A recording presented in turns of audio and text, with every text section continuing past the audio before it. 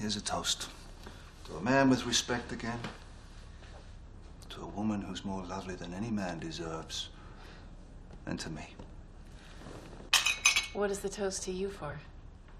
Toast to a dead man, Bean. Toast to a dead man. Yeah, about two months ago, I had this job in Manila. Now, normally, this would make me happy. I like the hot climate.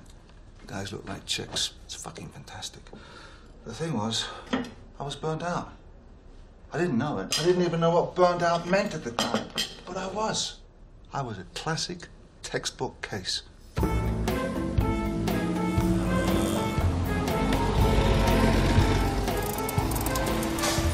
was having panic attacks. I was completely losing control of myself. I tried to counter this with booze, of course, but nothing was working. I drank and drank and. Nothing. I was still feeling itchy, still feeling like my head was going to explode. So, I moved on to my other usual diversions. Wonderful little whorehouse I knew right off of Mabini Street. That wasn't working either. And a good fuck usually does. Excuse my French. Go on. So I had this assignment. Nothing special. Some copper wire executive. Someone doesn't want him around. You know, my usual type gig.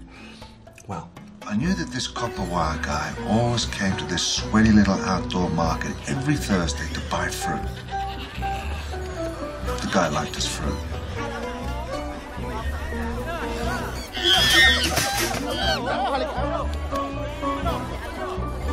It was a simple plan. As he walks through the crowds, I bump into him stab him.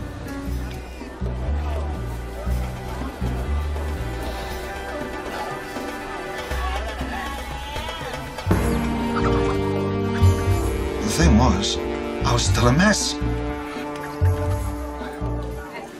And every time I looked at the guy, I didn't see him, but I saw a little boy instead.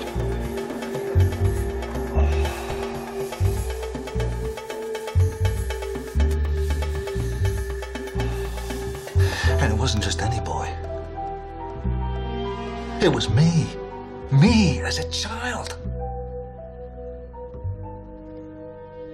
That's freaky shit, right? Real nervous breakdown sort of stuff.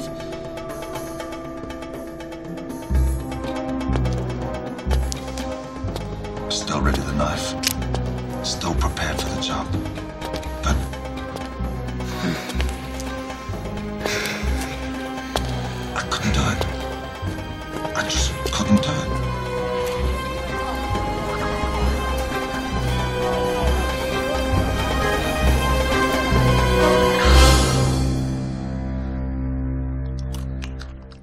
Then what happened?